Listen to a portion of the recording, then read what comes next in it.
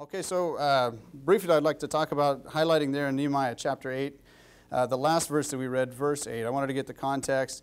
Ezra the priest, they're bringing the Bible in front of all the people, and they're reading the Bible for the first time as a congregation in quite some time. Uh, and the verse 8 there that I want to highlight, it says, So they read in the book, in the law of God distinctly, and gave the sense and caused them to understand the reading. Uh, sometimes when we read the Bible, if we're doing it on our own time, or even if we're hearing it at church or listening to it on an audio Bible or something like that, oftentimes there's uh, words or phrases, specifically like numbers and measurements and things that we don't use in 2024 America that maybe we're not familiar with. Um, I'll read for you Leviticus 19, verse 36. It says, Just balances, just weights, a just ephah, a just hin shall ye have. I am the Lord your God, which brought you out of the land of Egypt. So these, an ephah or a hin, these are volumetric measurements that we don't necessarily know exactly what they mean, right? If you've ever met somebody from a different country or somebody that uses the, uh, the metric system, sometimes we have this. You know, somebody might say, oh, I was driving 100 kilometers an hour, and we don't really know how fast that is until they say, oh, 62 miles an hour. Oh, okay, I can relate to that, right? Or if you're talking about pesos or euros or the dollar or the yen, different currencies kind of translate differently uh, to us. If somebody were to say, hey, I weigh 100 kilograms, we don't really know exactly off the top of our head, at least in America, what that signifies. Oh, that's 220 pounds, right? Somebody that's, if say somebody's six foot one, you know how tall they are, but if they say, well, I'm 185 centimeters, sometimes that goes over our heads, right? And so when we're reading the Bible, like it says there in Nehemiah 8 and verse 8, it says, They read in the book in the law of God distinctly and gave the sense and caused them to understand the reading. We should also make sure that we take time to understand what those words mean, especially if they're a word that's not familiar to us or a word that is in a measurement that we don't use. So I kind of wanted to go over a few of those. Uh, Pastor was going over uh, John chapter 12 on Wednesday night, and that's the story where uh, uh the, the costly bottle of ointment was poured on Jesus' feet, and it says it was sold, it should have been, uh, Judas says, why was this not sold for 300 pence? We don't really, we're not familiar with a pence, but we'll look at that and kind of get an idea and, and kind of show, make it more relatable to us, right? Um, if you would, please turn to Ezekiel chapter 45. Ezekiel chapter 45. There's a couple different types of measurements that I'd like to just go over. Uh, one would be the volumetric measurements, how a, a, volume, you know, we would use gallons or quarts or pints. Uh, in the Bible, it uses a different metric. Ezekiel chapter 45 and verse 11. Verse 11 says, The ephah and the bath shall be of one measure they, that the bath may contain the tenth part of an homer, and the ephah the tenth part of an homer. The measure thereof shall be after the homer. So a homer, if you look it up, a homer is 50 gallons. So when it's talking about a homer, we don't really recognize what that means. But if you say 50 gallons, you can imagine five or 10 five-gallon buckets or a 55-gallon drum of oil. That's about the size that that is, right? A homer. The ephah and the bath, it says in the first part, shall be of one measure, meaning they're the same and it says that the bath may contain the tenth part of an homer. So a homer, 50 gallons, a tenth of that is five gallons. So we can kind of get a feel for the metrics that the Bible is using here. There's another one that's talked about, I read it in Leviticus, a hin, that just means simply a gallon. Um, and it's important also that we pay attention. Here in Ezekiel 45, where you're at, it says Homer, H O M E R. I'll read for you in Exodus 16. It says a very similar word. It says, And Moses said unto Aaron, Take a pot and put an omer full of manna therein and lay it up before the Lord to be kept for your generations. This was the pot of manna that was to be stored in the Ark of the Covenant. And if you're just listening to it, Omer and Homer, they sound very similar. It wasn't a 55 gallon jar that they had that they stored in the thing. An Omer, O M E R, is a half gallon, two quarts. That makes sense when you're reading the context, but sometimes it, it helps to put it into uh, measurements that we understand. Uh, turn to Genesis chapter 6, please. Genesis chapter number 6 at the beginning of the Bible. Um, this is the story of Noah and the ark, Noah making the ark of wood. And now we'll get into length measurements. Uh, a cubit is what the Bible talks about, and a cubit isn't something, it's, it's typically from the elbow to the point of the finger, uh, standardized at 18 inches or a foot and a half. And that's a metric that we can kind of comprehend, a foot and a half. We know how big a foot is, a foot and a half. It says in Genesis 6 and verse 14, Make thee an ark of gopher wood. Rooms shalt thou make in the ark, and shall pitch it within and without with pitch. And this is the fashion which thou shalt make of it. The length of the ark shall be 300 cubits, the breadth of it 50 cubits, and the height of it 30 cubits. So if we just go those 350 and 30 cubits, sometimes that can go over our head, but if we, okay, that's 450 feet, that's 75 foot wide, and that's uh, 45 feet tall. Okay, we can kind of understand that in metrics that we use on a daily basis. Uh, there's also a metric that the Bible uses called a rod. That's talked about in Ezekiel and also in Revelation, kind of describing the, the temple. Uh, a rod is typically 10 and a half feet. So that kind of gives you measurements when you're reading through those.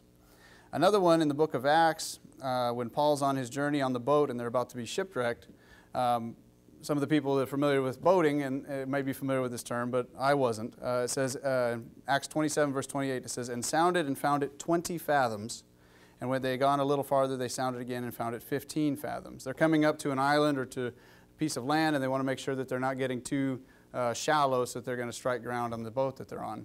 Well, a fathom, I don't really understand what that is. If you look it up, a fathom is six feet. So, okay, 20 fathoms, it's 120 foot deep of water. 15 fathoms, they're 90 foot deep water. It's getting shallower and shallower. So, we can kind of get the sense of it from the context, uh, but oftentimes it helps to look it up and really put it into terms that we can understand. Um, another one that's interesting in John chapter 6 uh, is a furlong. A furlong is a word we don't use much anymore, but that means an eighth of a mile.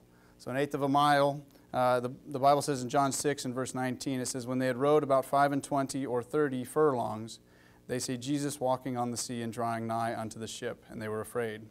So, 25 to 30 furlongs, that's uh, a little over three miles to almost four miles. Furlongs we don't quite comprehend, but when we put it in miles, we can understand what a mile is, how, many, how long three miles is. Uh, turn to Matthew chapter 20, please. Matthew chapter number 20. The last type of metric I want to look at, um, one that we're not familiar with in, in the Bible terms, but we can put it into terms that we are familiar with, is in Matthew chapter uh, 20, one example of it. So in the Bible, uh, weight measurements is another measurement that the Bible talks about. The shekel, uh, talent is a weight measurement. A piece of silver is equated to a shekel of silver, and that's a, a, a, weight measurement, how much something weighs. And so this is how people trade, uh, in this example, currency, and it was a weighed out amount of silver typically. So in Matthew 20 and verse 1, it says, For the kingdom of heaven is like unto a man that is an householder, which went out early in the morning to hire laborers into his vineyard.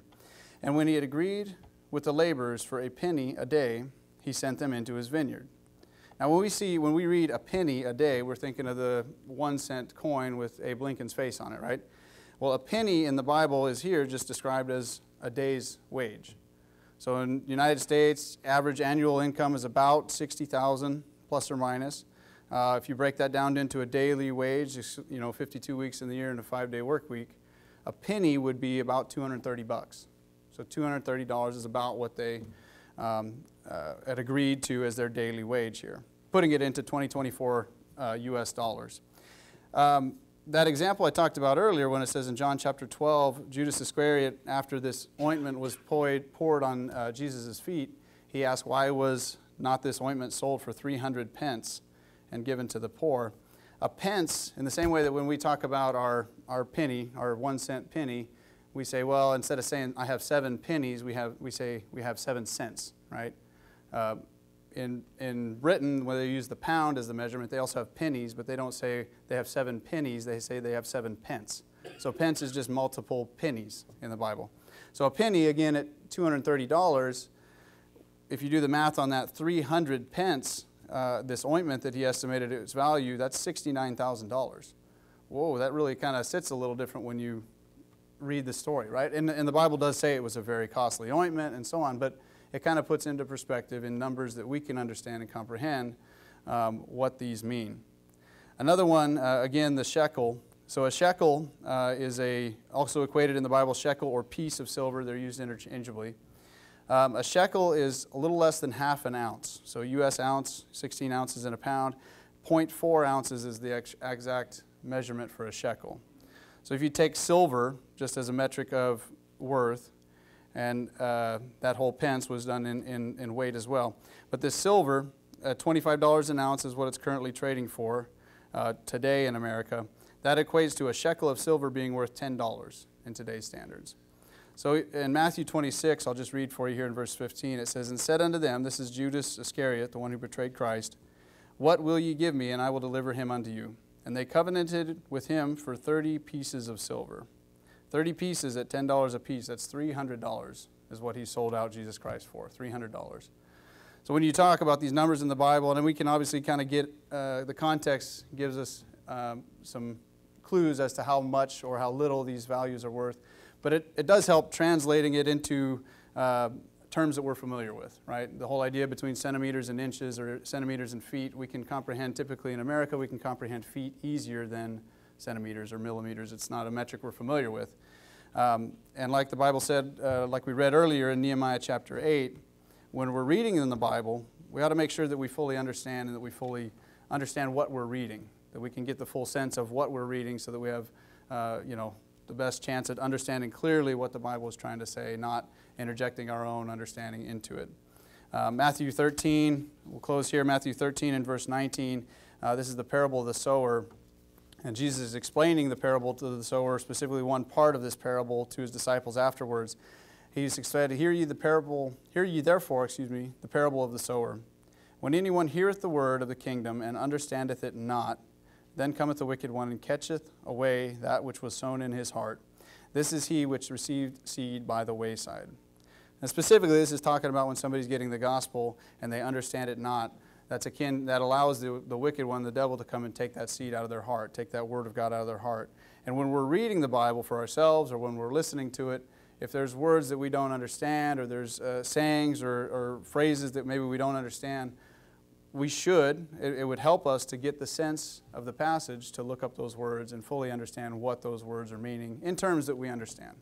I've always kind of read through the Bible and not always understood what a pence was and what a pound was and a talent and so on. A, a talent, by the way, I didn't say that. A talent is 75 pounds. 75 pounds. So that's, that kind of gives that metric there as well. But um, yeah, so make sure when we're reading our Bible, we look up the words that, that, maybe we don't understand so that we can get the full meaning and understand it uh, more completely. Uh, let's go ahead and close in prayer.